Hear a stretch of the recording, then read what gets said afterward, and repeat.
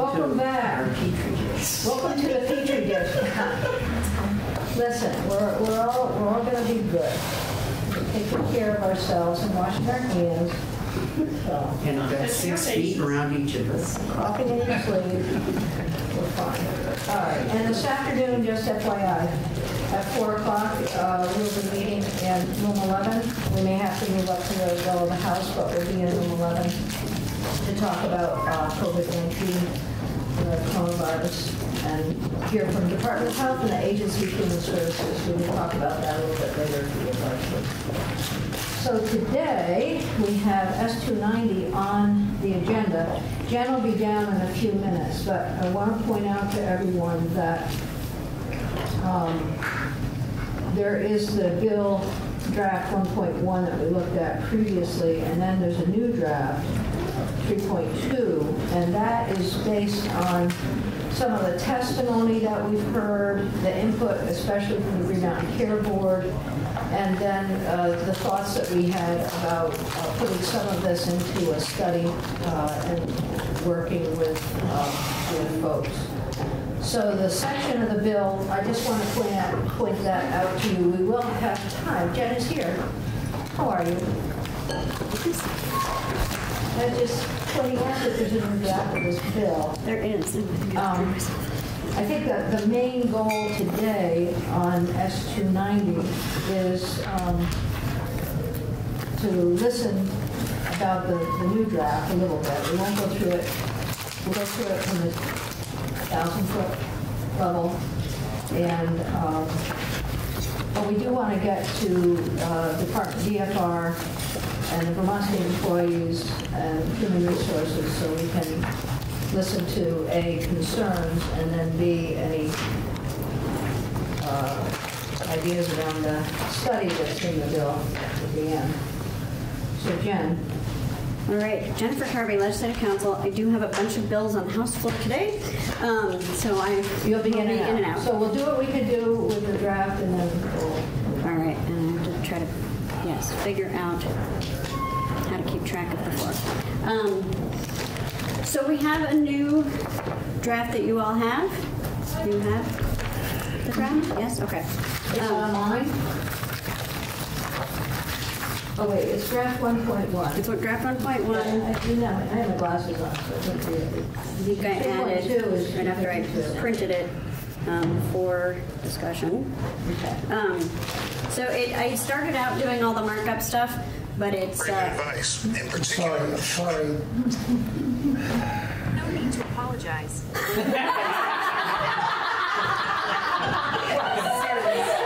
defined. Say I'm sorry, Siri defined it as. yes, she said there's no need to apologize.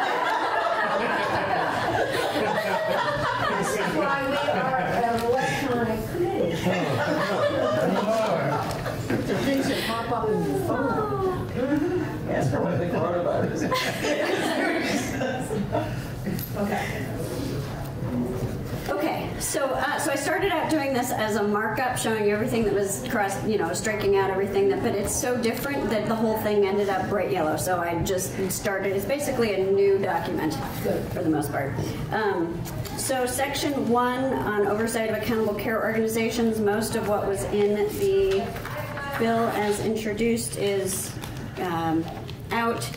There would just be a requirement that in its review, in the Green Mountain Care Board's review of ACO budgets, the board, um, as part of its consideration of the uh, information on the ACO's administrative costs, uh, that would include the annual salaries and benefits by position for all of the ACO's management level employees. Um, and then few new provisions added to the end of that in the budget review. The ACO's efforts to, whoops, should be educate, this is unedited, hopefully I put that in there. We won't Um, make any complaints. Educate providers on best practices and protocols for patient management, and the ACO's outreach efforts to educate providers and the public about the ACO's mission, its initiatives, and its impacts to date on population health. Then section two would be um, a requirement that the agency of Human Services in its contract, I'm sorry, uh, actually DFR, in its contracts with a certified accountable care organization, the DFR would require, I'm sorry, coming from too many different places, let me slow down. In its contracts with a certified ACO, DVHA would require that the ACO consult with the Agency of Human Services, that's where they're in here, and its departments regarding public health and population health issues and to coordinate its services and initiatives in these areas with agency and departmental programming. So some of this was in, in requirements for Green Mountain Care Board certification. Um, one of their recommendations was to move it to a requirement that DVHA put it in its contracts with the ACOs. So that's what this would do. Section three is a new study um, on uh, regulation of ACOs and the future of the all-payer model. This would direct the Joint Fiscal Office to contract with a qualified independent external organization to recommend to the General Assembly the most appropriate manner in which to regulate ACOs and to recommend modifications for future iterations of the all-payer model.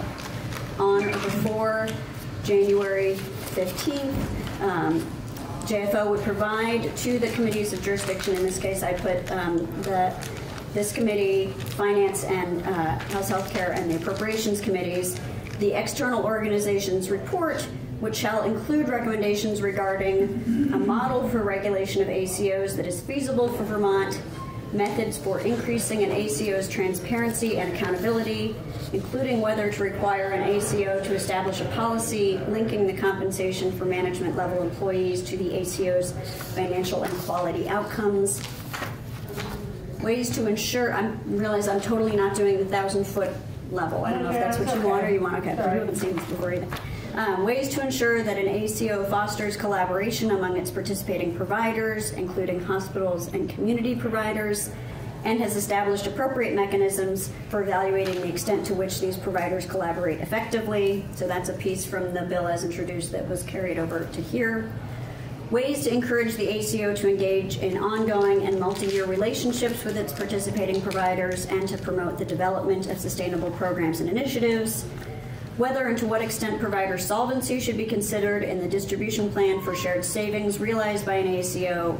Whether ACO budget should be set on a multi-year basis, and I think there may be more to come, so I put in a placeholder there, but the, this is to get some of these ideas from various places in here. Then we would move over to hospitals. This would require, as part of their budget submissions for hospital year, fiscal year 2021, so that's the one that's coming up this fall, that each hospital report to the Green Mountain Care Board the services that, that the uh, hospital provides, should be, hospital provides at the highest cost.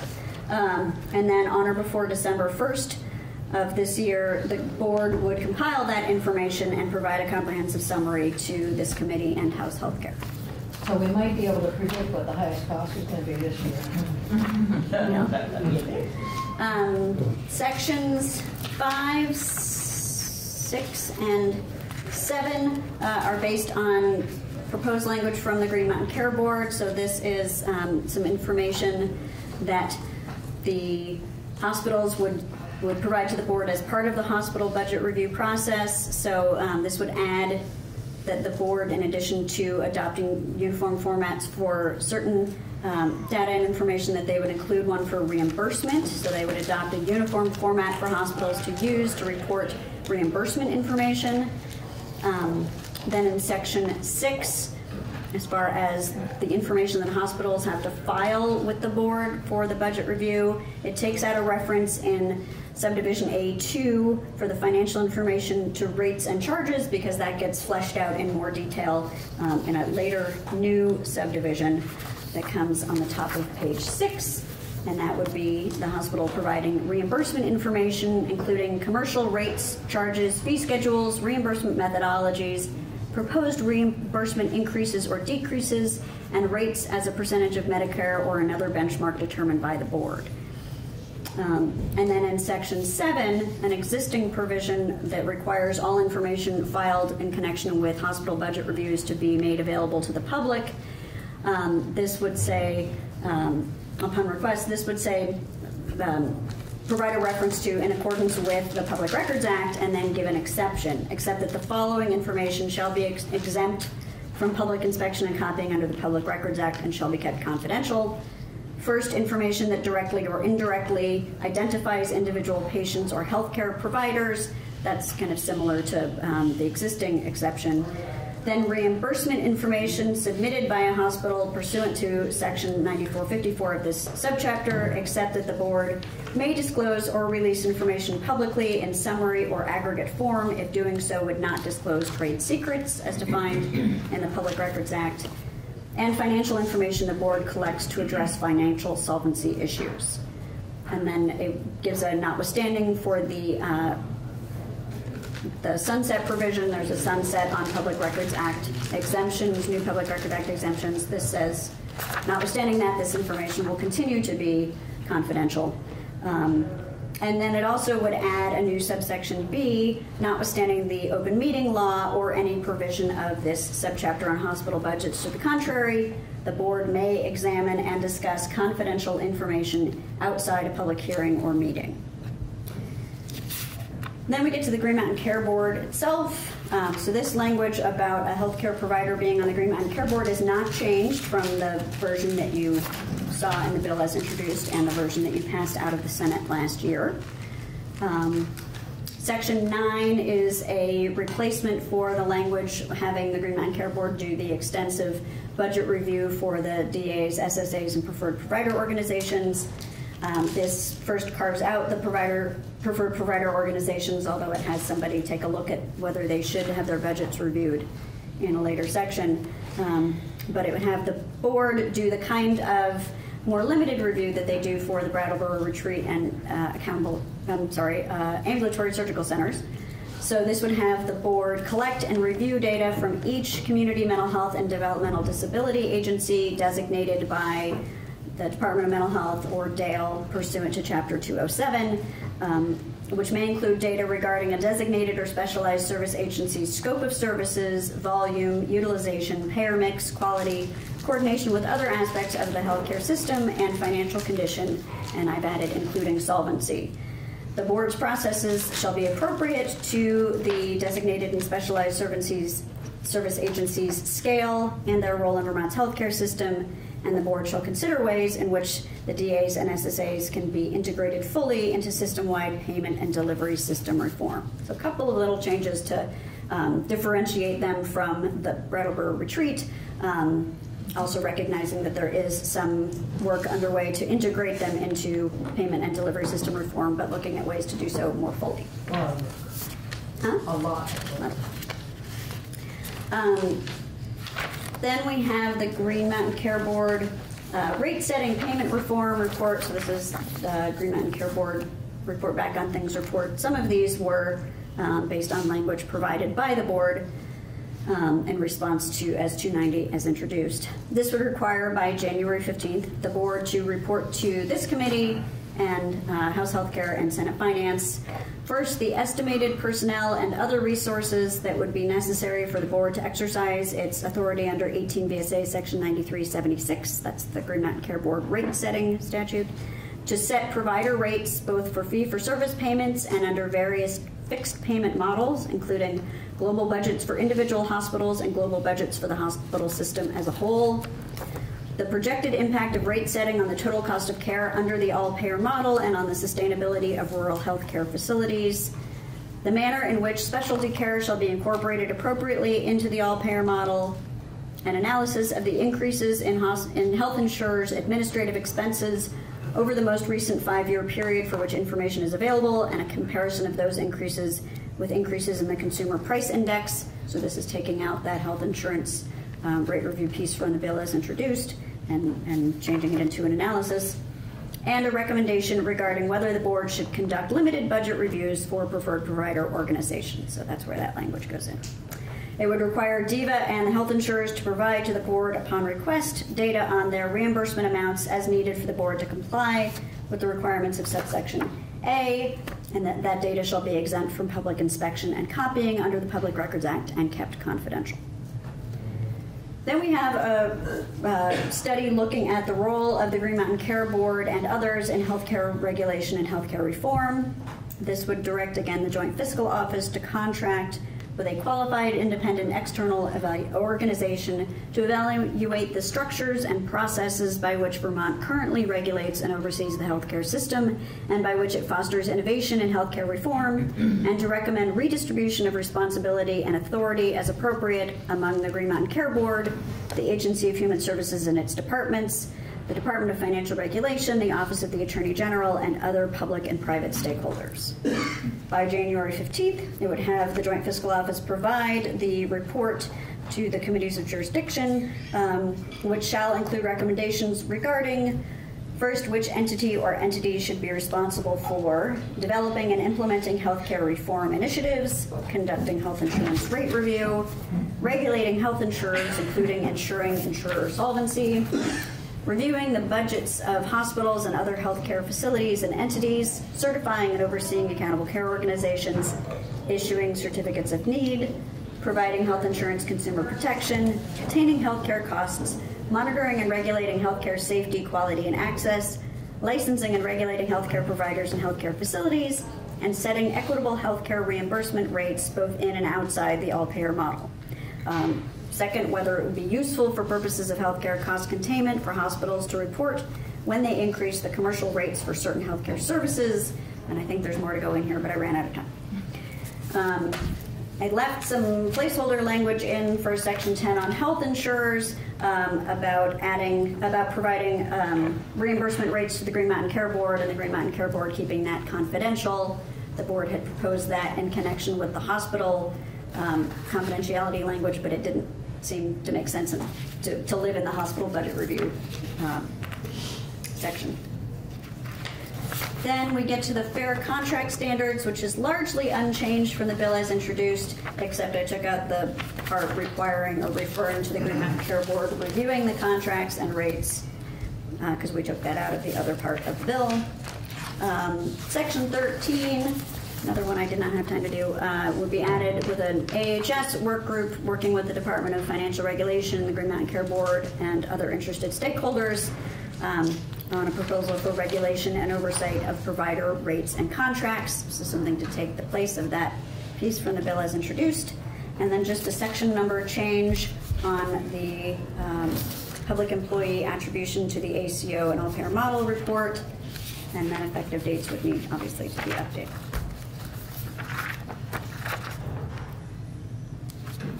Thank you. A lot of work. So good. Any questions for Jen right now? She said no, sure you're all right? good. Is that what you said? Siri says no. All of it. We need to, we need to go through and read A and. little um, time to digest, yes. I mean, obviously, going through all the testimony that we've heard, and especially from the Green Mountain Care Board, and and then thinking about what makes sense going forward, and after having spoken with Dana Backus and Secretary Smith and others, I think we're, we can make some progress on the bill. Um, So, um, please read this. I know everybody in the room is very excited about it. And, but, but there are, there's a lot in here that I think um, responds to some of the concerns that exist about all-payer, uh, ACO, and um, regulation overall. So I think maybe we'll just keep working. Okay, thank you. Yeah. Very good. And we will come back, just FYI, we'll, we'll keep going on the bill. Jen, you're in and out, right? So we still have two more bills, so when you're in, at some point, we'll look at the other two bills. Um, But I wanted to just remind everyone that we have some time uh, toward the end of the week where we'll be spending a lot of time on this bill. So uh, there's time for everyone to go through it and with a fine tooth comb, and we'll get together on that. So, we have DFR, Jill Rickard is here. Thank you for being here, we Thank appreciate it. I know that you probably looked at a prior iteration of the bill, and that's okay. I- We we really want to hear your comments about rate setting and the work that you do with the insurance company and what toes we're stepping on when we start writing legislation. So thank you. Um, Jill Rickard, I'm the Director of Policy with DFR. I was actually prepared to comment on section um, five, uh, sorry, mm, I'm not sure which section it was actually, section nine of the bill, which would have given the Green Mountain Care Board authority to review and approve healthcare provider contracts. And my testimony is now sort of like you say, no longer necessary because you've changed it to a work group um, to look at regulation and oversight of provider rates and contracts to include DFR, Green Mountain Care Board, and other stakeholders. And I think that's great because there was a bit of overlap if you were to have done what the original bill proposed. And if it's helpful, I can just tell you what our role in, in provider contract review is. So we have a regulation 2009-03 and section 5.3 of that regulation um, governs provider contracts, fiscal incentives, and disincentives. And there are certain substantive provisions that govern what may be and what is not permitted to be in a contract between a managed care organization and a provider. Um, examples are that we prohibit providers from disclosing information to members about the contract or the plan that may affect decisions about the member's health. Um, we prohibit offering inducement to, to providers to forego medically necessary services. There are sections that say a contract must include requirements and responsibilities of the MCO and providers regarding administrative policies such as payment terms, confidentiality agreements, procedures, etc.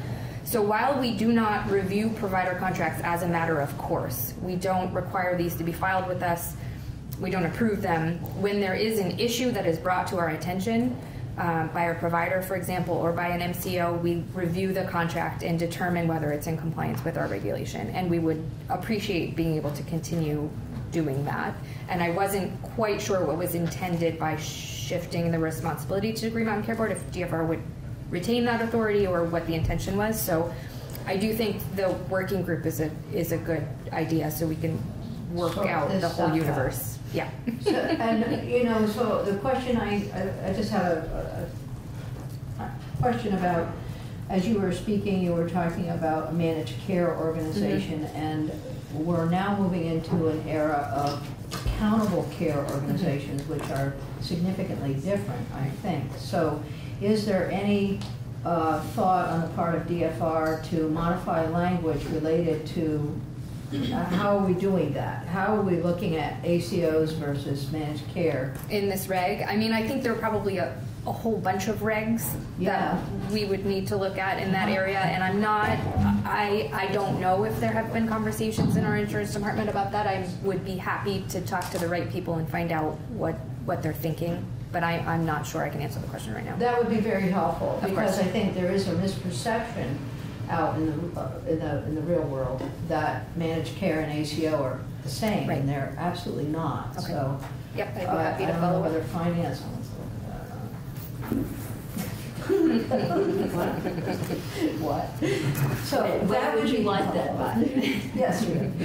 But that would be very helpful. I mean, one of the, one of the difficult things that we have is convincing people that uh, the all-payer model and the accountable care organization, which are going hand in glove, um, are valuable to our state as healthcare reform, so it'd be helpful to have that information. Sure. And then your, your interest in, in- so DFR would be interested in, as far as you know at this point, participating in a, uh, in a working group to sort out some of the issues that we hear Sure. from providers and from insurance companies and everybody else. Y- Yeah, but, but, uh, and also What who role- bears regulatory responsibility, what role different stakeholders play in that Exactly. process. I mean, it does get confusing, Mhm. frankly, and then when you have, when you have folks going in to the Green Mountain Care Board looking for affirmation of a rate, and yet the whole analysis isn't there, mm-hmm. kind of tough. Yep. Okay. So, Any Short and sweet. questions from, I'm sorry, I shouldn't have talked about questions. Will you get back to us? I will. On that, that would be great. Thank you very much. Thank you. It. So we have, I don't know, uh, Steve Howard is here, and then we've got uh, uh, HR, Beth and Clark are both here. And so, Steve, do you want to come in and share your thoughts? Sure. Please. Thank you for being here. Thank you for having me. For the record, Steve Howard, I'm the Executive Director of the Vermont State Employees Association. And I take it you don't want my expertise on ACOs, so I'll go right to the study section. I'm an expert on studying, although I didn't do much of it my- most of my career. Um, I have uh, learned in the last few months more than I ever thought I would about an ACO. Um, I think the VSEA, um, while we support studies, and we do think there is a need for additional study of the ACOs, the ACO model in Vermont, um, I will say that our um, relationship with the administration uh, through the Benefits Advisory Committee, which is a contractual committee that um, brings all the parties together, has been one of sort of mutual um, uh, cooperation on this issue as we examined whether or not it made sense for um, state employees' lives to be attributed to the ACO. Um, so if I look at the language, and I think it's pretty much the same in this version as what It is, I think it's a it hasn't changed. Um, what we would, uh, I think one concern we would have is if you're going to do a study and we, we are not opposed to additional study, that it be somebody other than the Agency of Human Services that conducts the study. Um, we would prefer that it be somebody completely independent of state government and of the administration with expertise in, AC, in the ACO and the healthcare model. Um, and mostly, you know, our, we've done a great deal of um, uh, research and had a number of like months of conversations about this very issue. And our uh, benefits advisory committee has advised the administration uh, that we did not want to be part of, uh, we did not want to be attributed to the ACO this year. And mostly it's because we want to see what happens. We want to see what the auditors' um, work uh, finds. Um, we just want to give it a little bit more time. Um, so this study would fit into that. Uh, we'd, we'd like it to be a little bit more independent. And this isn't mentioned in the bill, but I guess one of the things that our members, we just had a conference call about this last night because this is like a favorite subject of the SEA. Um, one of the concerns we have isn't directly um, related to our healthcare plan. Um, we feel fairly confident that at least in the next year there won't be any negative, there wouldn't be any negative impact, and since we're not going to be attributed, there shouldn't be. There's, there's definitely not going to be. But if it were to be attributed, we feel fairly confident that that would be okay. The VSEA members' biggest concern about the ACO, ACO and OneCare in particular is about privatization. And it's about uh, what we see as the path being built to privatize the jobs that are in DVHA and jobs that potentially administer the Medicaid program. Um, we, I'm just going to raise that issue because it won't be considered this year, it won't be part of this bill. But next year, I can guarantee you, I'll be back saying, don't privatize DVHA, don't privatize the jobs that administer the Medicaid program. We don't want OneCare to manage those programs. We want state employees to manage those programs. I just want to put that on the record because that is the biggest concern state employees have. Okay. Um, sure, that's a, I mean, that's a, that's a good concern, understanding, of course, that it would take a waiver and an act of the federal government in order to make that possible, and right now, that is sort of like. It's not going to happen anytime soon, but happen it is a concern that they have. anytime soon, right. Right. Yeah, you're right, okay. That's as much as I have to say. Can, uh, so uh, the question I have to ask of you is, you're saying, let's wait and see what happens, and then, so I have a comment, and then something to think about. If we wait to see what happens, one of the, one of the things that has to happen is that attributable lives reach scale for the, for the, for the program, and if it, if it doesn't, it falls apart. So we're in a catch twenty-two, mm-hmm. because the way we can reach scale in government is through um, government-sponsored programs. Mm-hmm. And if we, we, what we can't do, but what the insurance companies are really working very hard on, and as is the ACO, is bringing lives in from ERISA plans. Mm-hmm. So, that's, that is, that is a huge issue. Just want you to know that having attributable lives, reaching scale, is the only way that we're gonna be able to validate the work that's going on. Sure. So, put that into the, the bee in the bonnet, and I, uh, and we'll, you know, we'll, we'll just maybe continue to talk about that. The other thing is, I, I don't know how, but maybe there's a way to think about some kind of a pilot program that encourages or has um, state employees involved, attributing their lives, uh, short, something that demonstrates that this isn't gonna do what we all might think Right, could right. I, I certainly understand that, uh, Madam Chair, and I, and I respect that. I think you'll um, appreciate that because the state health insurance plan has been so well managed, and it's been really a cooperative relationship with the Right. administration. We don't wanna change unions. that. Yeah, right, and, and, you know, for the last couple of years, we haven't had a premium increase. That's probably not gonna last much longer, but Right. we are very concerned about anything that might upset that apple cart. We got it.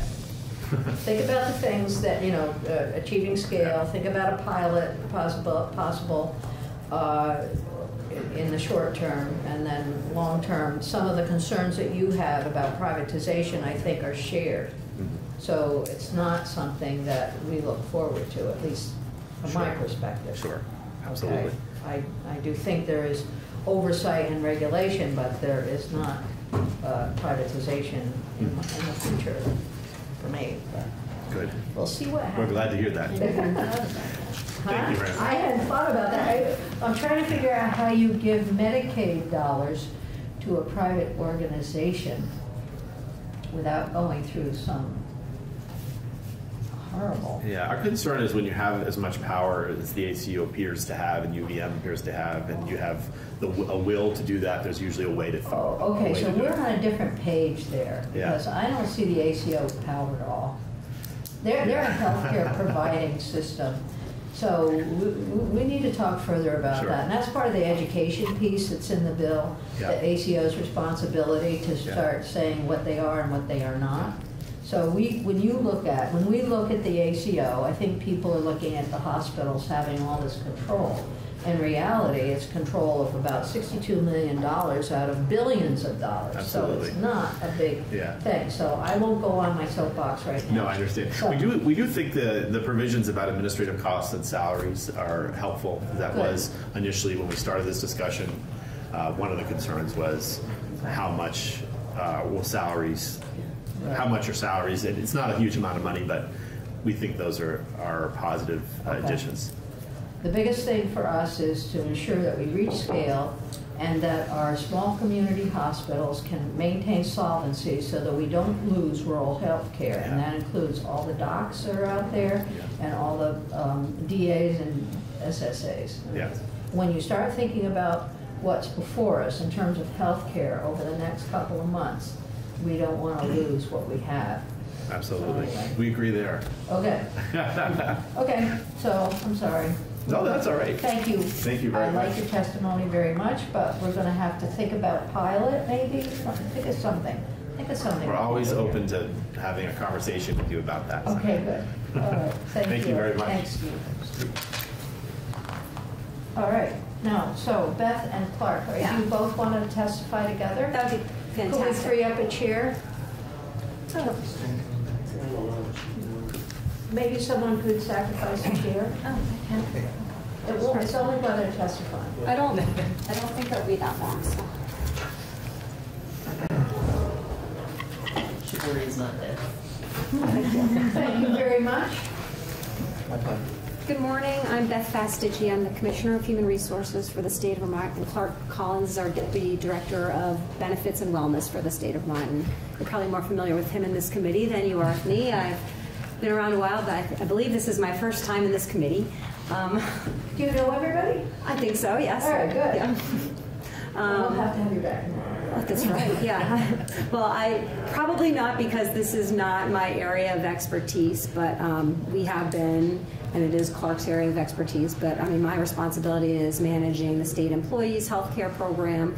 We um, bid out um, our healthcare contracts We um, manage the funds, we um, work with the VSEA very closely and seeing what the members want. So our, so so my job is really, it's managing that. Um, Last year, was it last year, we put out all of our healthcare contracts out to bid, and we had some very successful bidding. We were able to actually um, really, I would say save, but have a lot of future cost avoidance by rebidding those contracts, which we're really excited about. We um, reduced our um, OPEB, our retirement healthcare liability, by over $200 million by rebidding those contracts and making some tweaks to those plans. Um, So we're really actually proud of that and the work we've done. And as um, Steve mentioned from the VSEA, we've had pretty good success about um, not increasing the costs of our plan over the past couple of years. And as he did mention, we probably will be increasing that this year. Um, One of the things that we worry about is we increase costs at the same time, uh, we joined um, OneCare would be that employees would think it would be as a result of OneCare. Well, it really isn't. I mean, there is a natural rise to healthcare costs. And with the um, lowering of the cost last year, that kind of gave us a jump down, but we still will go up. So I just want to say that, you know, we can't, we don't expect that we will have zero increases for the ongoing period there. Um, With respect to S290, obviously, uh, we are not the administration experts on that. Um, We would have a very small part in that, um, on the reporting part of that, working with um, Agency of Human Services and discussing employees' lives into the healthcare plan, what it's going to take to attribute employees' lives. Um, in general, I'm not big on reports, and I don't think this administration is big on reports, and we prefer not to have additional reports.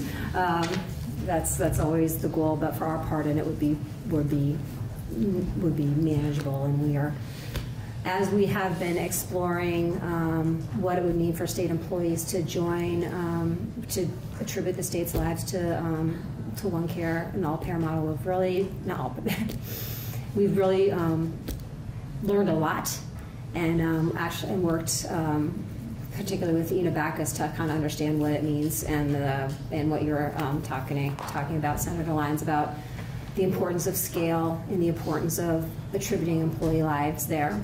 And um, I think, and Steve mentioned a little bit the journey that we've been on um, for the past several months, really learning about OneCare and OneCare and both Blue Cross Blue Shield, our insurance provider, have been fantastic about providing information, making their employees available so that we really understand the model because what they came up with on how to attribute employees' lives really enables us to join the model with really any very little fiduciary risk to our plan. But it's kind of confusing and complicated, especially when you're coming from position of just kind of going off on your own. So I think it's taken a lot of time and research on behalf of both uh, myself and um, other people in Department of Human Resources, as well as um, members of the Benefits Advisory Committee at the VSEA, to really understand what this would mean to attribute the lives to the plan. I'm at the point where I think that it's, I don't think there's a risk. I think employees could really benefit from it. Um, just having their lives get the benefit of the um, coordination of care. I want our employees to have that, but I also respect um, the work that um, the VSEA and the Benefits Advisory Committee is doing, and they're recommending to wait a year, and I would really like to honor that because I do value our relationship with them. This process has been very um, very helpful, I think, in building trust again between the union and, and, um, and the administration. And we want to use that and build that um, con- to continue to talk about healthcare issues and other employee issues. So I think that's really where we are. The model that um, that um, Blue Cross Blue Shield and um, OneCare have come up with, and also the employees of both of those organizations, and really you know, getting down to the nitty gritty and explaining how much money is actually at risk, which is not a lot of money, and it really seems like it would be a win-win for our employees. Like we win either way, almost. So it was. It's very. It's a very. Um, it works very well for us, and it was, I think, pretty creative. Almost. Almost. Um, it was like, oh, that makes so much sense. And then the other thing that we've done is we've um, we've worked with. Um, we worked also with the VSEA and Blue Cross Blue Shield to try to get language to amend our contract so that would happen. So I think we're also there. So we've really paved the way to have um, state employees join in the plan, and we're really excited to be able to have employees experience the benefits of that. When I um, mention it just to employees that haven't been part of it, and I said, well, what we'd really like to do is do this, and they're like, oh, we don't we don't want to do that. I can't even i have a hard time even getting a doctor's appointment. So it's the whole healthcare system i think as you mentioned co- like the whole healthcare system they think it's just this one little piece of it and having a hard time finding a doctor and having all these other things or they don't like the hospital or they don't like this. That's i think there's a big education piece um, and i think a better way to do it is when we go in have our employees be receptive to that rather than fighting it and and having that negative um, additional negative um, hearing additional negative things publicly about it because I think it's really more of a lack of a lack of information and a lack of understanding about what it is and what it would mean. So I think that that's kind of where we are at this point. Um, Okay, so what I'm hearing you say is in pretty much agreement with what we heard Steve Howard say.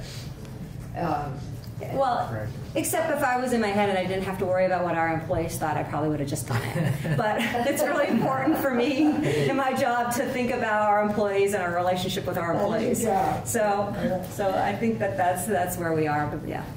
And I I did want to respond Okay. you about your, um, you had mentioned a pilot program. Yes. Uh, One of the things that we are working into the contractual language uh, with Blue Cross Blue Shield is the ability to, uh, to back out. Uh, So that if we do attribute our lives, it is not a permanent decision. Right. Uh, So sort of along those lines, a pilot program doesn't necessarily have to be something official as much as contractually we are able to back out uh, if we find that it's not working well for the plan. Okay. Um, So have you, have have you, how far have you thought about having that contract in place? I mean, obviously negotiations are going on now, right? Yep. Right, so it's ongoing. I would say that we are near completion of a contractual amendment that would allow us to attribute our lives. Uh, But as, um, as we've mentioned and as, as Steve mentioned, um, it appears that 2020, uh, it might not happen in 2020, but in terms of going effective as soon as we can, we, we should have the amendment pretty much hammered out so that we can go in once we're able to. And so as I'm listening to this, I think of, I said, I mentioned a catch twenty-two earlier, and so it's the attributable li, attributable lives. And then if we, as Steve Howard's not here, but he suggested, well, he wants to wait and see what the auditor says. Well, if we don't have, uh, scale, then we're gonna fail. Ooh, I like. That one out. So, but seriously, um, so, and I wish Steve were here because, um, it's very simple to poke holes in a system if we don't allow for the system to go forward. And I encourage you to work as assiduously as you can to, um, with folks. And, and we, I think all of us will be trying to talk with others, but the education piece is amazingly important. Um, I don't know whose shoulders that falls on. Is it the state? Well, I, Is it the ACO? I think that um, that's the. I, I don't know who it is, but I do know that the. I really have to compliment the VSEA and really for digging in, really under, trying to understand the model and how it would work and how it would impact the plan, and um, and I think that's really when I heard um, what people are saying. There was like their I think their biggest concerns about it have been have been met. And it's just really it's just that extra plunge and that jump in the lake like it's the hesitancy of change. Where was where we is as I think really where they are at this point. And said give us some more time to think about it. And so that and I think we're going to really be there. So I think that's what that's kind of what we heard heard around the table from members. Like they're they're very close. It's still just the So, and we're in year three right now, putting together the behavioral piece of our waiver. And then we're thinking about the next 2.0 waiver. And if we don't reach scale, we aren't having anything. The whole system will fall apart. We will be back at ground zero. So I put that also into your heads, and I will talk with Steve personally about the value of, of uh, moving ahead somehow. A pilot program, I, how, can you separate out primary care and the contract? But, I'm not. guess not. So, um, I'm, yeah, I'm not sure that no it's. way to do that. Anyway, it's too late to think about that right now. Anyway, but I understand your need to have more time. I understand the cold feet issue, or the cold water issue. Um, Nobody wants to go swimming in March, so, okay. We appreciate your coming in, and questions? I would say any work that you're doing with your Benefits Advisory Committee, um, might want to meet more frequently. Anyway, I don't know if you can do that. So we've been, Pushing it. generally, it's a quarterly meeting, Clark? It And was we- a quarterly meeting, but during the process of evaluating the, the impact of the plan, we were meeting almost weekly for a few months. So, Good idea. Yeah, so we I mean, listen, for me, if, if the concern is privatization, why don't we just take all this money and pass it through DVHA? Huh, That's the first that I've actually heard about privatization on the, you know, this, that, we haven't, we haven't talked about that with the Benefits Advisory Committee. I haven't heard that either. They're concerned, they're, you know, they're just concerned about their healthcare plan, their healthcare plan that they're very, um, they take a lot of pride in and they're very, they They have a lot of ownership in it. So, so that's where they, that's, that's kind of where they are, but they, they seem to understand that, um, that, um, it's, it's, it's probably the best way to move forward. So, not losing benefits is important. yes. We get that. But they don't, they, they, they understand what it is now, but I don't think they understand the value of what it could be. So I think that's the- really the education piece of what they're, what, what employees are really losing out in by not attributing their lives, and I think that's what we have to work on accumulating, um, communicating. All right, any other questions? Thank you. Thanks for being here, I think. No, seriously, thank you very much. Okay. So committee, think creatively. We've got to, you know, That always gets me. I- I'm, no, I'm very concerned about the idea that having an external audit by the auditor's office is going to solve all the problems when we haven't even met, reached scale and achieved the goals for the all payer. And I like the audit. So, um, is there a way for me to contact Jen and see what her ETA is?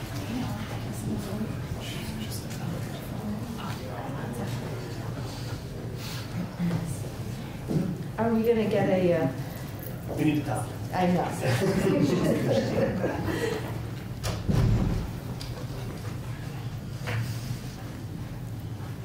We're moving on to S two fifty-two.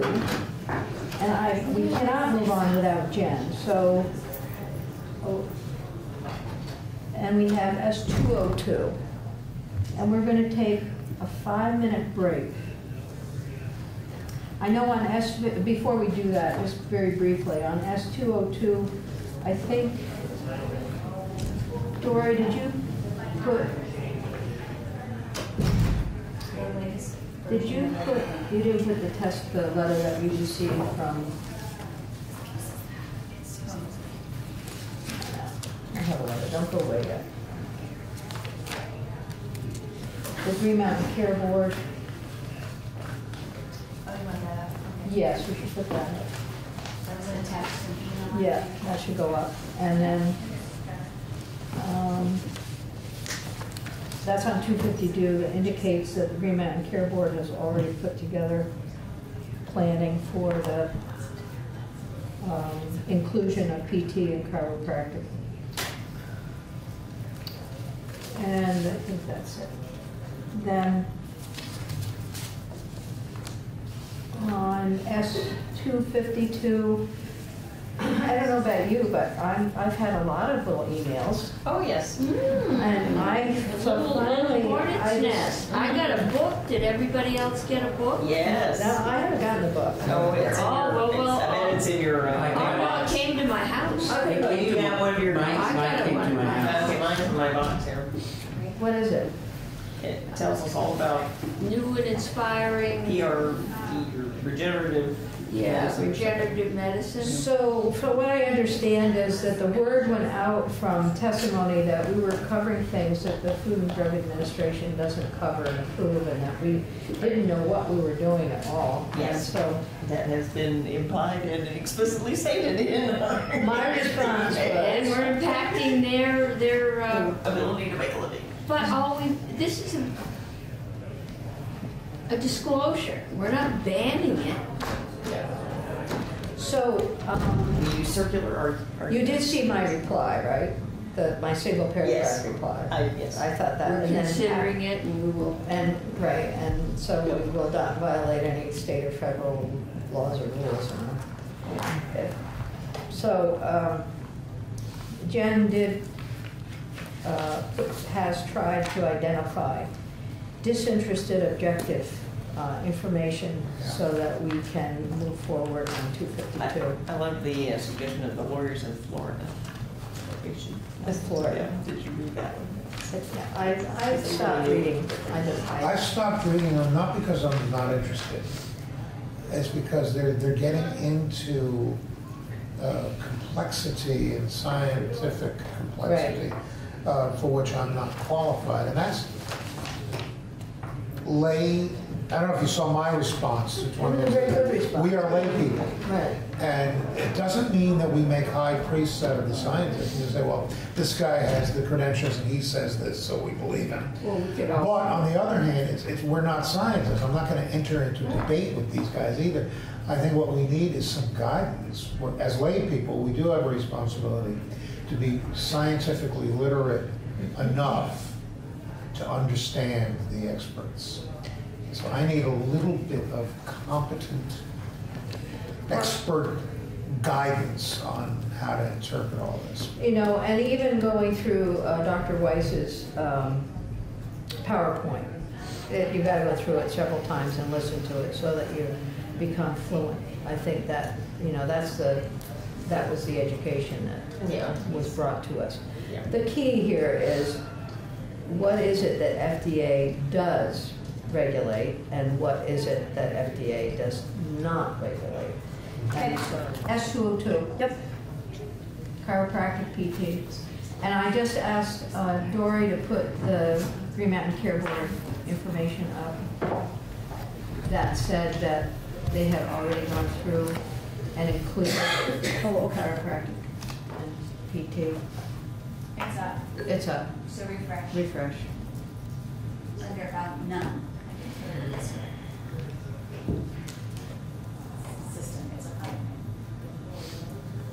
None, there it is. Yeah. Okay.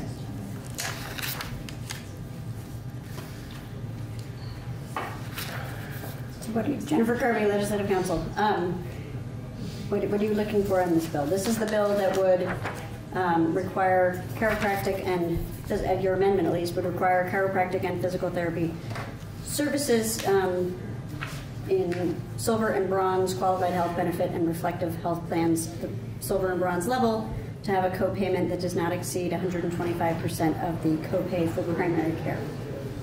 That's right. And so the concern was it would take a lot of analysis to make this happen. And what we've heard is that the analysis has already taken place. Right, I think, right, I think this was included in the um, plan design for the plans that were approved by the Green Mountain Care Board. Right. But that doesn't limit it forever, right? No. That doesn't, No. But if we No. do this bill, it would limit it forever Right. until we do Right, right. Until we did another Right. one. Right, until you changed it or, or not listed it. Yes, that is, Okay. That's where we are. Okay. All right. so we know where we are. So we can come back to this for discussion and vote when Jen is probably in the room. Okay. I don't want to keep her here for No. that. And so then let's go to 252. All right. And this is um, a new draft. Yes. And we've been talking about the pains that we've been under. 3.1 is the draft? Yes. I have 3.2. Yeah, 3.2. I forgot. Yeah. And we've been hearing uh, information that said that this bill is totally against, goes against federal everything. Stem Nature and cells. humanity. Uh, 252. So the change that I'm, so the last version you looked at uh, would have amended the definition of stem cell product to include, um, in addition to homologous use of minimally manipulated cell or tissue products, uh, also include whole blood, blood derivatives, and blood components. Uh, I think that's what you've heard the, the most concern about, and whether those are things that require FDA approval in the first place. Uh, so that would be struck in this new draft. Uh, and then there's just a fixing a typo on page two, and I think the rest of it is the same as the last. So to clarify then, the FDA does not give approval for the use of whole blood, blood derivatives, or blood components. I'm not sure I can say that with any certainty. I have to tell you, I'm not an expert in this area, and I don't, I don't know which of these types of, of products requires FDA approval. I've been trying to find out. Um, And these are what is referred to as platelet-rich plasma? I can, whole Or blood, here- from, here. do you know what whole blood is? Whole blood is Everything, plasma, Plasma, blood yeah. cells, Yeah. and all the proteins and everything else that's in the plasma. So uh, whole blood is everything. So if you have blood components, then blood components are, could be um, clotting factors, hormones, everything. So this is like, this is like stem cell products, human cells, tissues, cellular- so it takes blood out of the whole discussion, literally. blood out. But are we Right. roping And now we- in the Red Cross and Yeah, we don't want them to have. Now I have to run upstairs. Okay, so, like, so Jen, bills. Yes. can I ask you this question before you leave? Is there, um, how can we find out, I'm gonna bring David Herlihy up here in a minute. How can we find out the answer to this conundrum? That's a great question. I would invite other people to. I'll to- see you later. Thank you. I appreciate it. Well, I, Yes. I think I've, I've used on other issues like vaccinations, I've used the Department of Health as, for expert, but now there are people who will say, well, that, you shouldn't because the Department of Health is part of the plot. Well, we did But, I mean, send- I one did- way or another, you're gonna be stuck with that. FYI, I did send uh, a note out to the Department of Health before the break. They didn't respond to me. They said they were working on it, but apparently they have responded to Jen, so I don't know the answer. So they didn't respond to me when I And sent they're that dealing with out. other things right now. So, Yeah. yes, so Yeah. now This I'm is gonna not on the have top. David Herlihy come up because he might be able to give us, shine some light. Do you mind? Yeah, that'd be great. call your congressman and have their staff person call the FDA.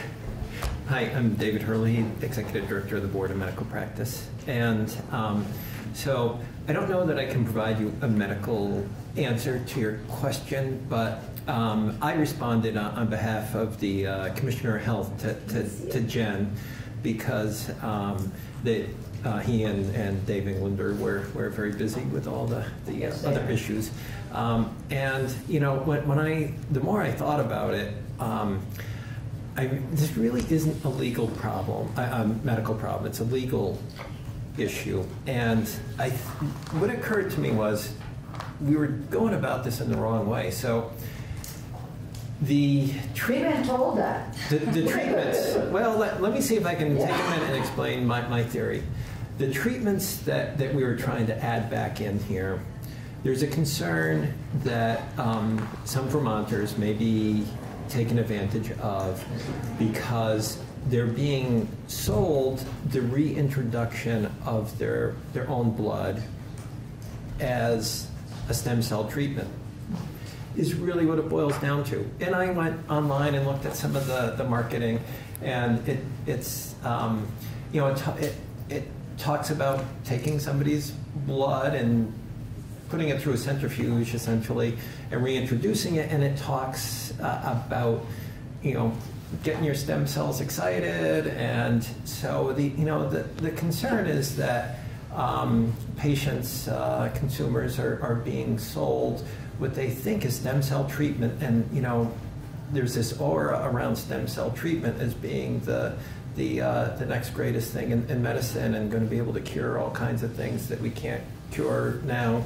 Um, and so rather than and, and you know what our concern really is is about I think people being given the impression that this is stem cell treatment when it's not.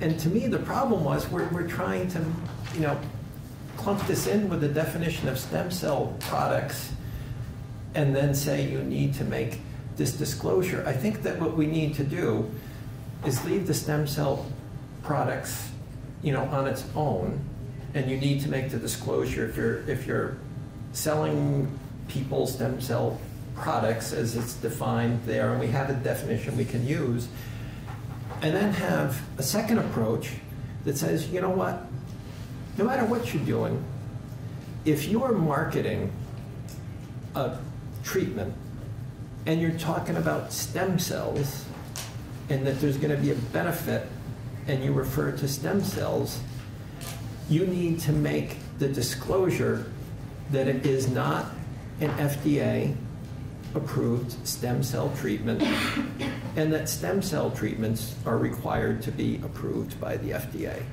So in other words, just, you know, we're not saying you can't do this, you can't sell people the idea of taking their own blood out and putting it back in. You just need to let them know it's not a stem cell treatment if you're talking about stem cells when you're trying to sell them that. We're with it. Because I was trying to figure out, how is the stem cell? I mean, yeah.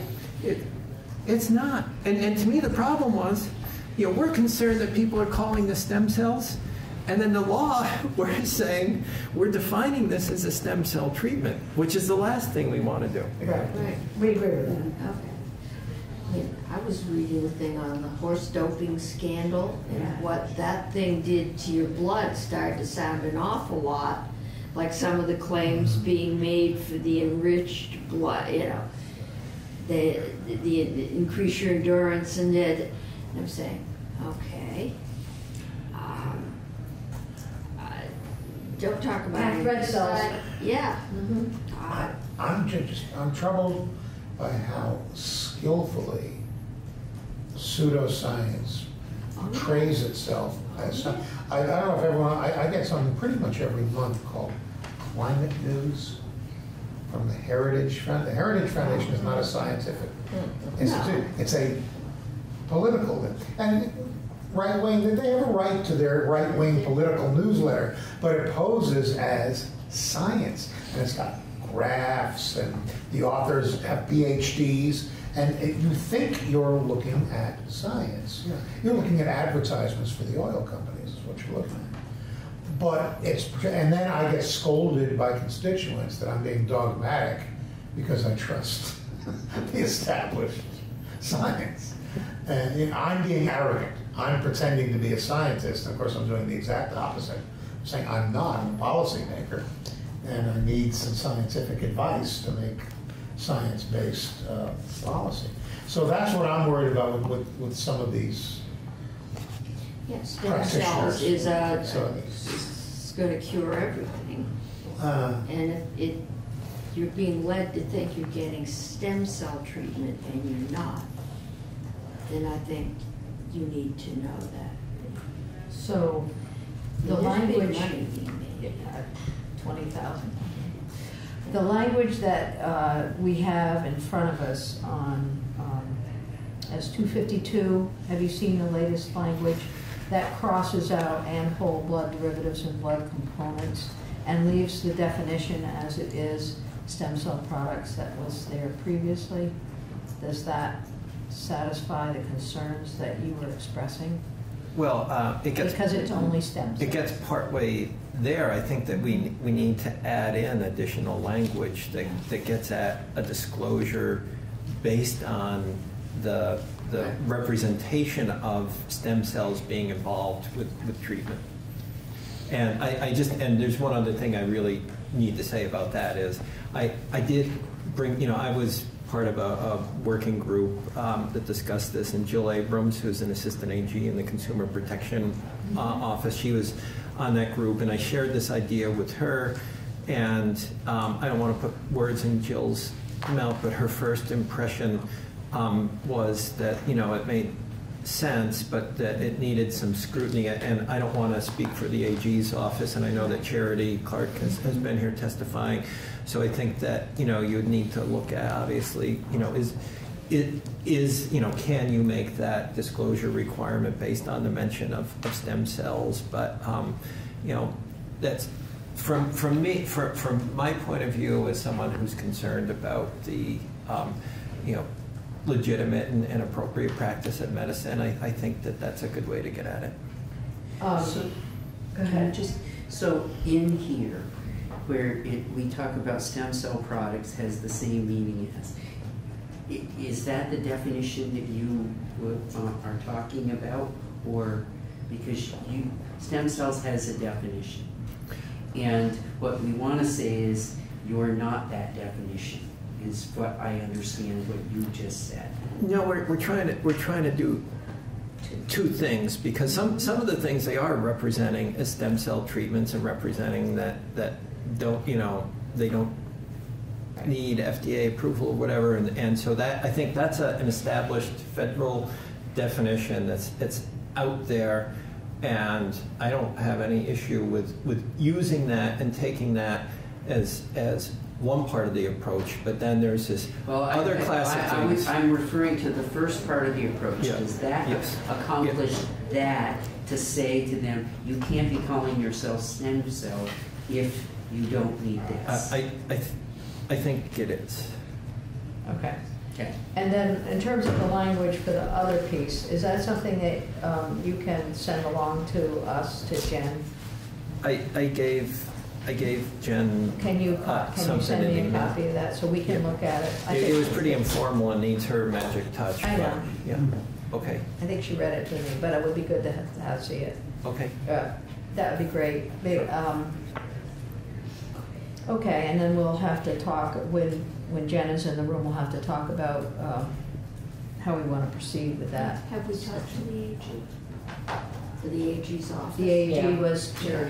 That's what I thought, triangulated with yeah. that, right, so we need to have the AG back in on this as well. What do you mean triangulated, triangular? Uh, Department of Health, Yeah, Ledge Council, AG, oh, okay, and then we're all right, in touch with one another. Yeah. As well as with us. okay. Thank you. Thank you. So, there we are. I hesitate to say, does anyone want to comment on 202 or 252, but I'll go to 252. I'm looking, yeah. well, I think we're going to wait until we hear back from uh, our ledge council and the AG's office and try to put something together on this. Okay? Okay. Okay, Do we want to vote on two, two?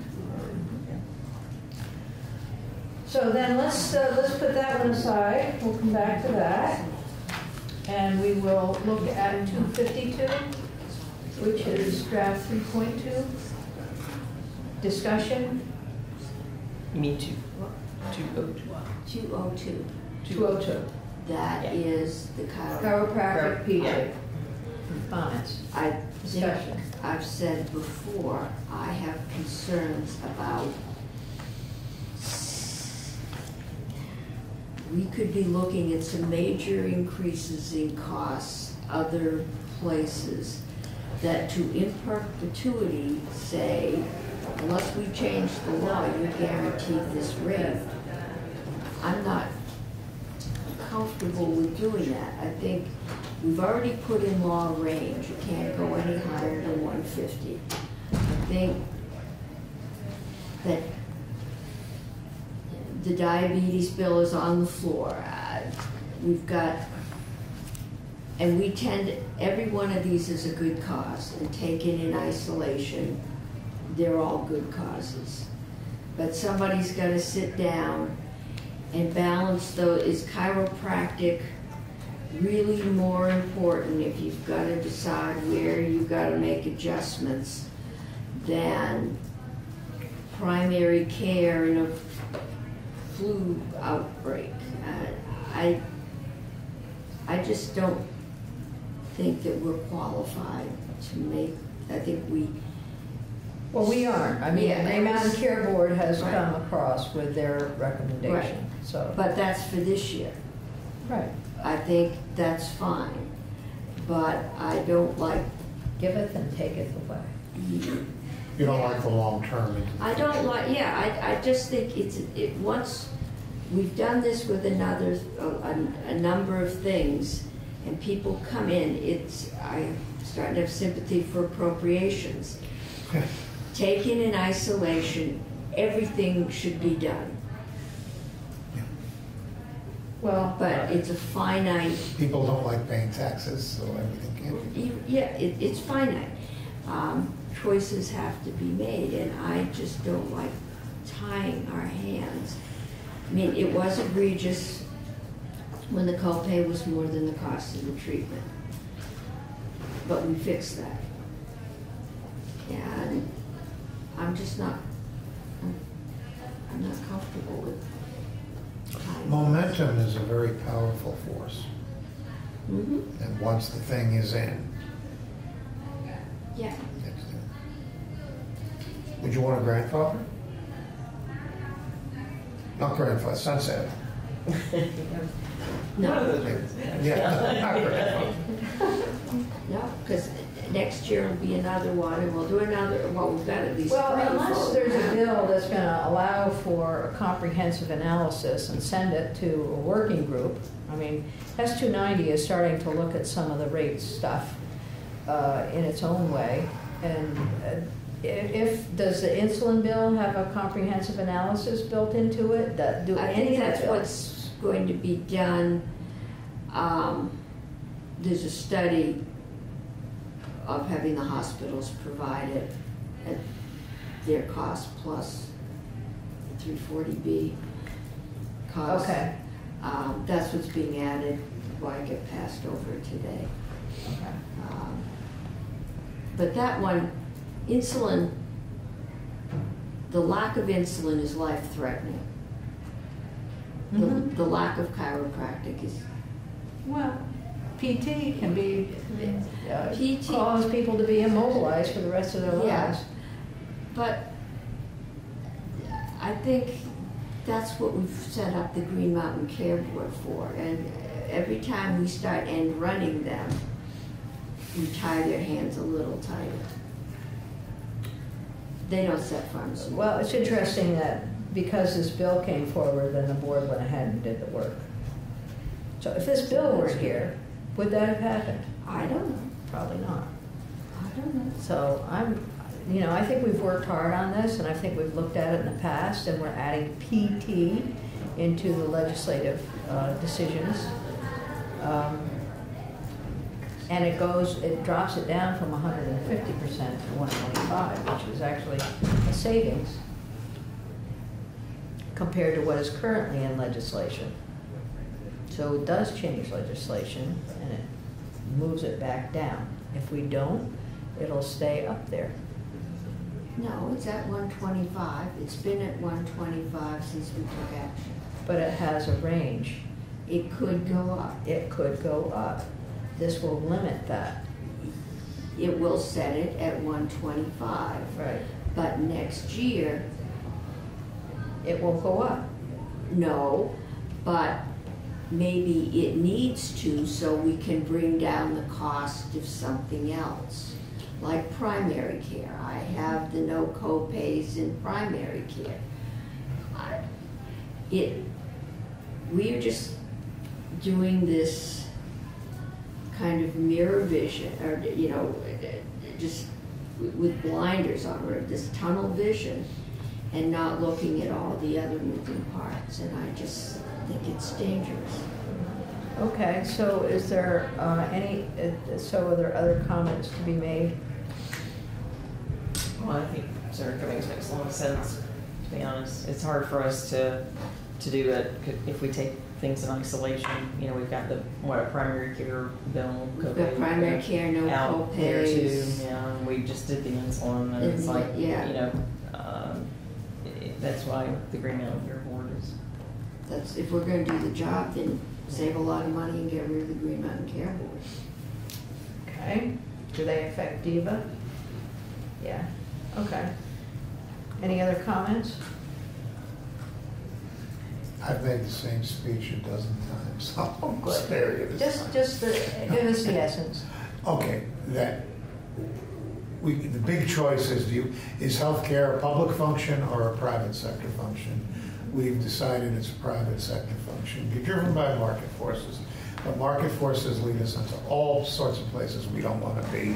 So there, the government, which won't run healthcare access, does manipulate the outside system so that it doesn't do the nasty things market forces want it to do. In other words, we have a market system weighed down with liberal bells and whistles that work against the market forces that drive the market system in the first place.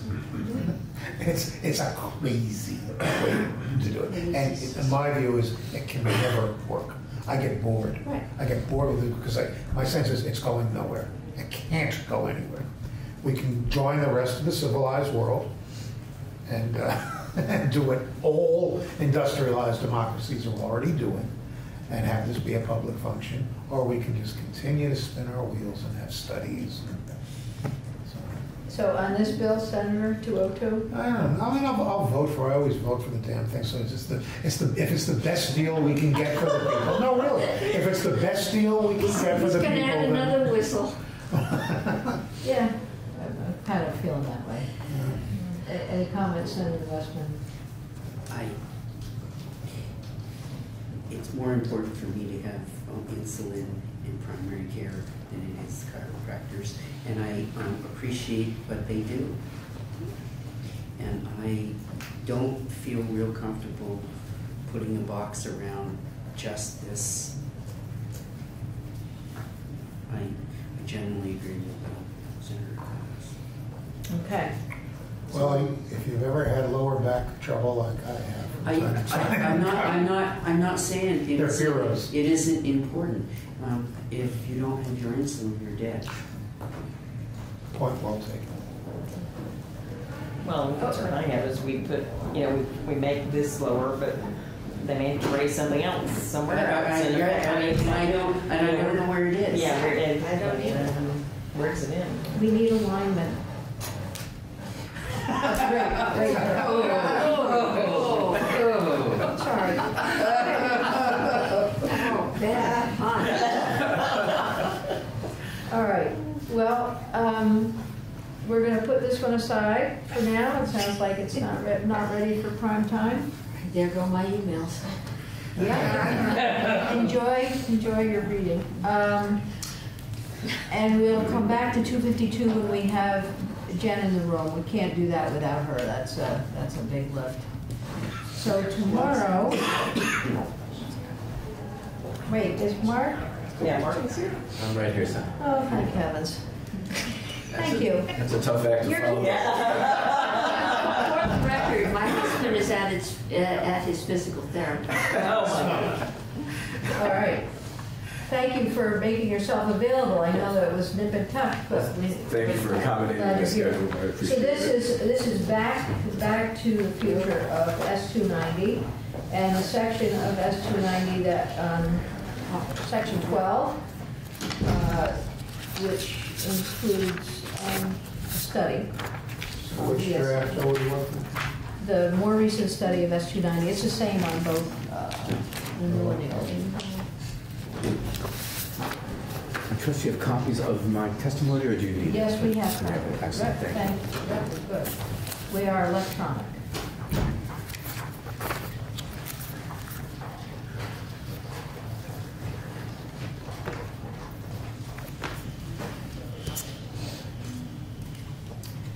Do you know everyone? Probably not, so. I think I do, but it wouldn't hurt to go around. go ahead.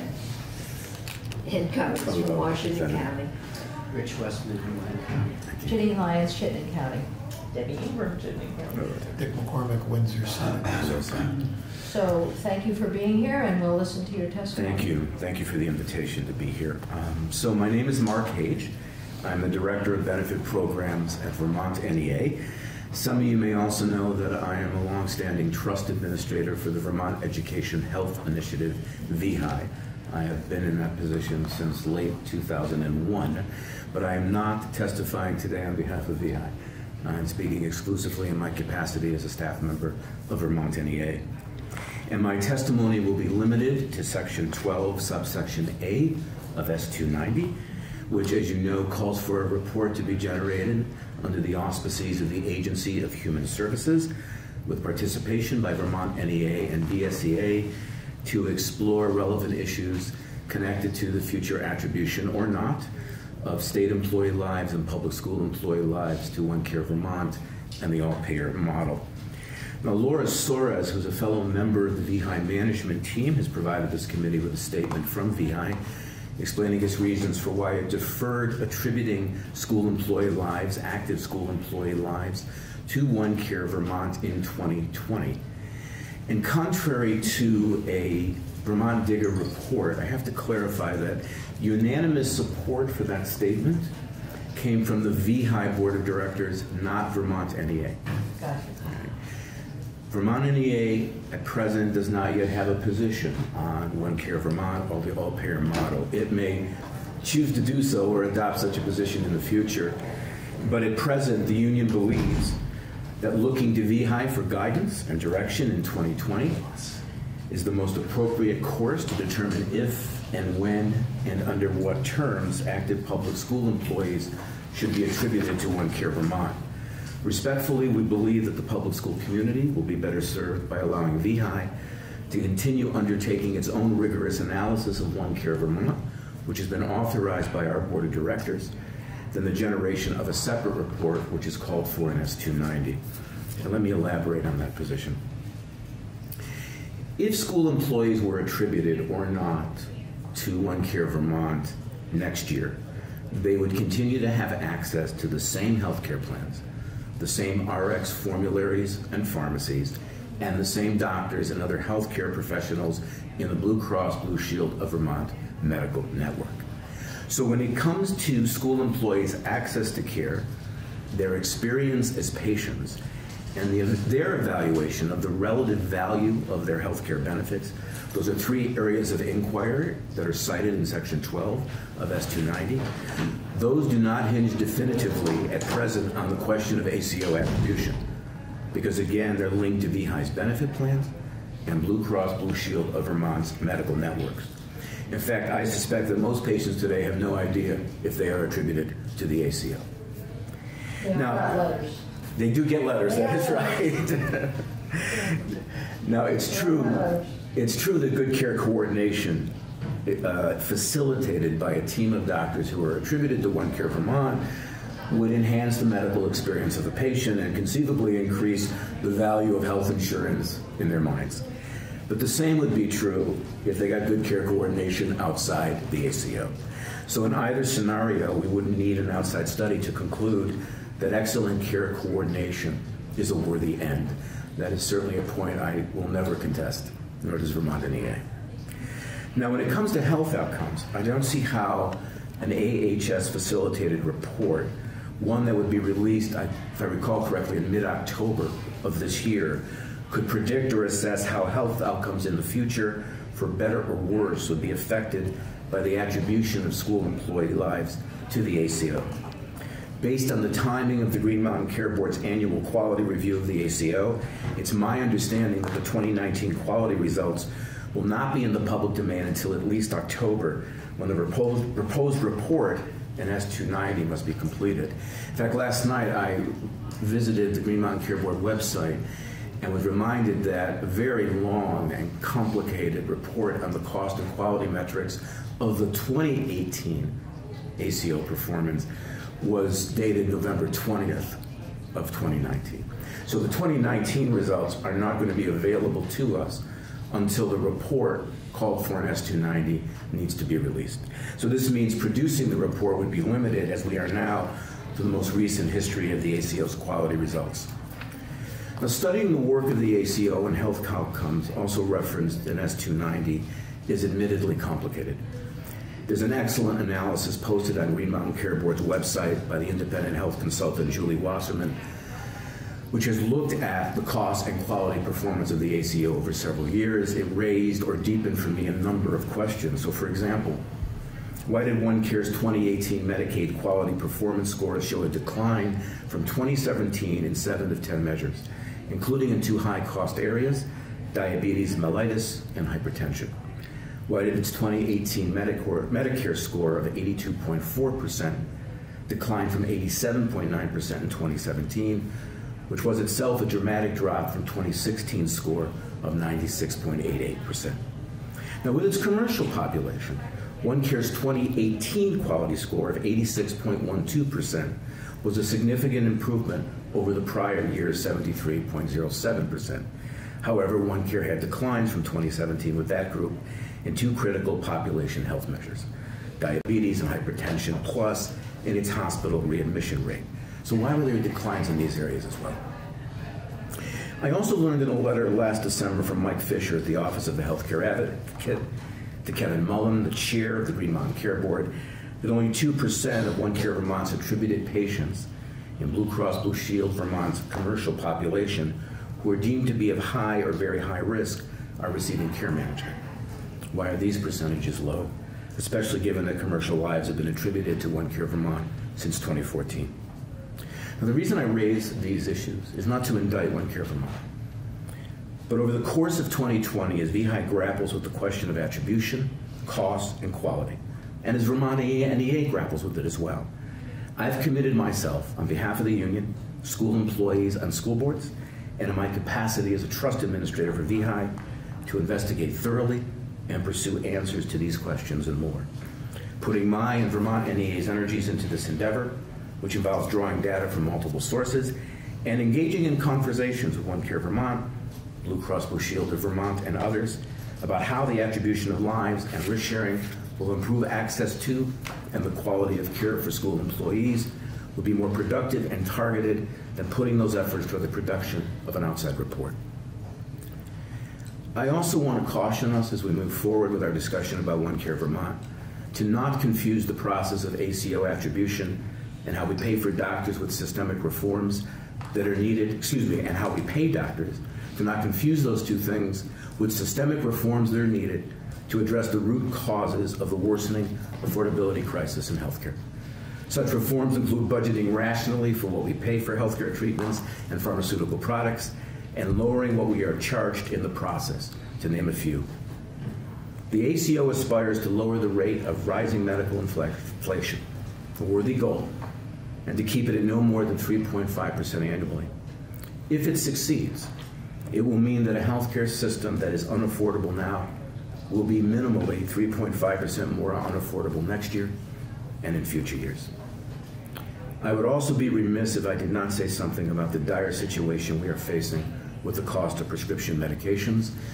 And excuse the, the bluntness or crudity of how I'm, what I'm about to say, but those prices are killing us. Mm-hmm. And they're killing everybody in the pri- private and public sector. In fact, I've been very impressed recently and told him so by very pointed comments that the CEO of Blue Cross Blue Shield of Vermont, Don George, has made about that situation. Essentially, one out of every five premium dollars is now directed to pay for prescription costs. That's true for VEHI, approximately, and it's true for Blue Cross Blue Shield's book of business, as I understand it. And just to sort of ground you in the sort of severity of this crisis, The average price per month of specialty medications today for Vermont school employees and their families is $5,100. These are specialty medications. The monthly average price for generics is $23. Now, specialty medications are low volume, high cost drugs, often administered intravenously or by injection, that treat serious chronic conditions like hepatitis C, rheumatoid arthritis, cancer, MS, HIV, and more. These drugs account for more than 50% of VEHI spending on prescriptions, but only 2% of our subscribers take them right now. Somewhere between 85 and 85 percent of our members, their prescriptions are filled by generics on an annual basis. That accounts for just 20% of our spending. So the trend that's unfolding with specialty medications is also unfolding nationally.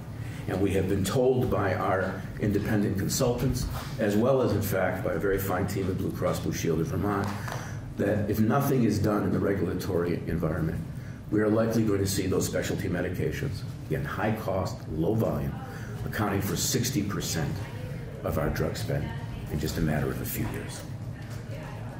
Now, this is a big reason why Vermont NEA supports S246 to establish a state-based prescription drug affordability board under the direction of the Green Mountain Care Board. Maryland took this step last year, as I'm sure you know. Maine followed suit with a similar model. School boards and school employees and all Vermonters, all employers, public and private, need extensive regulatory relief from the predatory business practices and greed of big pharma.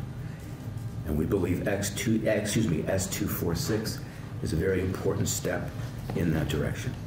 Everything we can do as a state to lower healthcare prices for school boards and school employees and for all employers and their workers in the public and private sector must be done. And it's my hope someday that the federal government will step in and do its part as well. But S246 is certainly the step in the right direction. And if you deem it appropriate, we would certainly welcome inclusion of support for the Prescription Drug Affordability Board in S290. So just to close, returning to the bill before you, respectfully, Section 12, subsection A of S290, Vermont NEA, for the reasons I've cited, does not support an AHS report about OneCare Vermont and the attribution of school employee lives to the ACO. We believe VEHI can serve us very well in that capacity. Thank you for your patience and your time. Good, you've you've, you've actually stepped outside of the section 12, but we're very appreciative of your, uh, of the information you brought us. We are aware of, of the issues that have been discussed out there in the real world regarding the failure of the ACO and understanding that that failure is uh, a result of not, is it a failure? There are also explanations for it. And I, I hope that you will go and look at some of the work that the Green Mountain Care Board, the agency, and others have done in response to the criticisms that have been made, knowing that um, the key for success for our waiver, for the all-payer waiver, is having a scale of uh, attribution. Uh, There's nothing we can do about that in this room, with the exception of public employees. So we are not saying that all of our public employees will become part of the all-payer program, but we, uh, model, but we are asking that it be assessed, and I'm glad that you're doing that. Yes, ma'am. Um, The issue around uh, AHS study versus another, you don't want to work with the rest of the group, or, I mean, Oh, wouldn't it, wouldn't it make sense to have everybody in the same room rather than reinventing? I think our focus at VEHI in particular, and my focus as the union voice in that process, can be more targeted and as extensive as it needs to be by working through that vein. I speak to my union colleagues at VSEA, we're not Yeah. strangers to each other on these issues, and if I deem it necessary and if they deem it necessary to speak to me, we will certainly reach out to each other.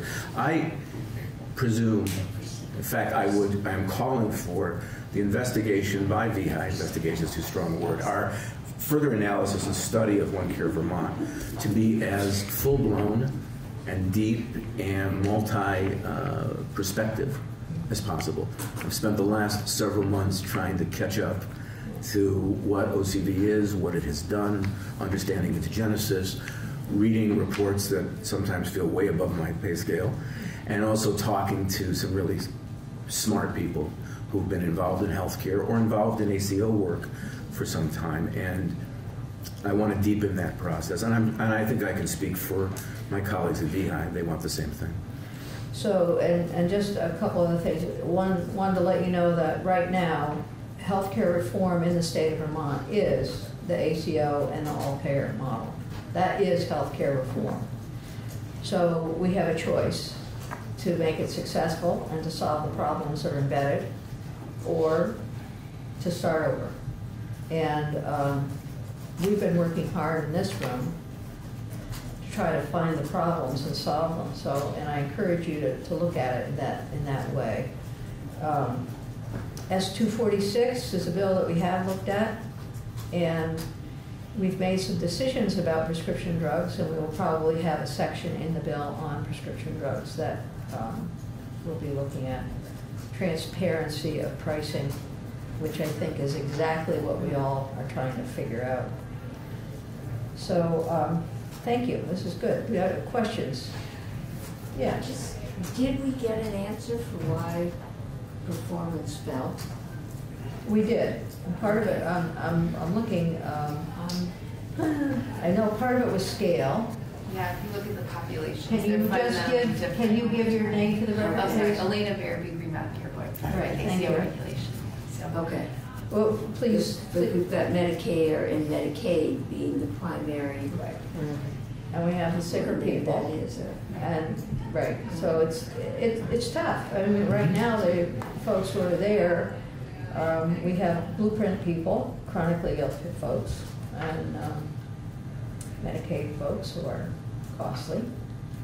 And do you want to say anything more about the, No, I mean, I think that's, that's precisely it. It's very difficult to look at effects when you're actually changing the population over time. So what we're trying to do is create a methodology for looking at year-over-year comparisons, which we just don't have the data yet. But, once we have a trend, once you have two years of the same people, you can kind of see what the effect is of our, um, of our program. I mean, I've had the, I've had the pleasure, if I can call it that, listening to you present at Green Mountain Care Board.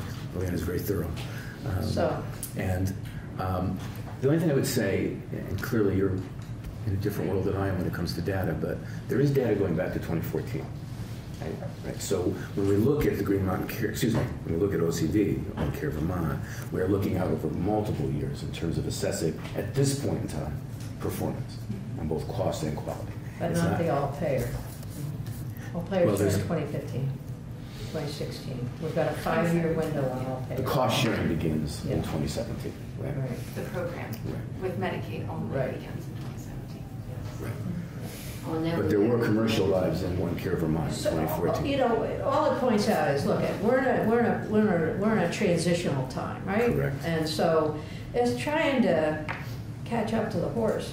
You know what, we're, we're- you know, that's actually a really good way of putting, that's a good way of putting it, 'cause we're trying to, we're trying to catch up too, and, and our catch-up process, our analysis process, continued conversations with Alena and her colleagues, all of that, I assure you, will be part of our work at VEHI and at Vermont NEA. Have you um, had an opportunity to visit at OneCare Vermont?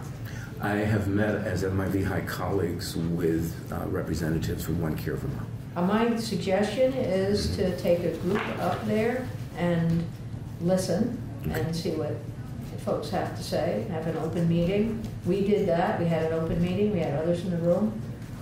It is very helpful. It doesn't quell all the doubts, but what it does do is it brings you up to where they are and what their work is. And um, on the other side of that, um, doing the same with folks in DVHA. And this is why we said AHS, because if we're going to have six different groups going, doing the same thing, it, it slows everybody down, or it makes it more complex. So I'm just, I'm just suggesting, think about how you might want to uh, work. Thank you. Okay. Thank you. Thank you. Anything else? There's a great Three Stooges routine where Curly is tasked with closing a leak at the end of a pipe. So he puts another length of pipe on. it, And it's still leaking, so he puts on a T. Yeah. Now he has two leaks. And it continues, it becomes more and more lengths of pipe, and more and more complexity, till he ends up with about 500 leaks. It has never occurred to him that he has to close the end of the pipe. Right. Once you screw something up, everything you do to make it better makes it worse. Right. I think that's what we're doing with healthcare. No, no. No, we're not, Senator. We're gonna make it better. We're going right to. Another length of pipe? We're going right to ground zero. Uh, Okay, anything else? Any other questions for Mark? Thank you very much. Thank you for your time, folks. You've been very thoughtful in your response, and we greatly appreciate it. Thank you, Senator. All right. So we will, we are finished unless someone has other comments. Okay, so at four o'clock, we're uh-huh. in room eleven. And the goal is education, not petrification. So that'll be recorded, right? Yeah. I Yeah, yeah. Yeah. Okay. All right, we're finished.